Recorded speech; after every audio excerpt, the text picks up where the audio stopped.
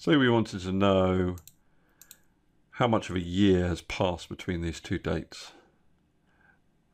If we took this away from this, what percentage, what decimal part of a date has elapsed between those two dates? We could use YEARFRAC. Year frac. So we give it a start date, comma, an end date.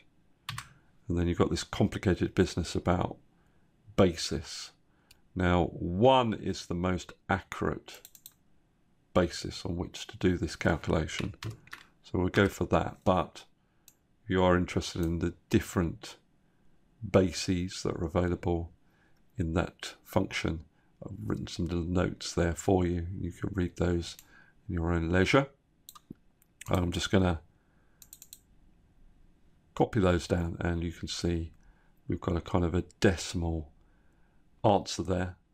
I could show that as a percentage by formatting the sales as a percentage. So 52% of a year is elapsed between those two dates.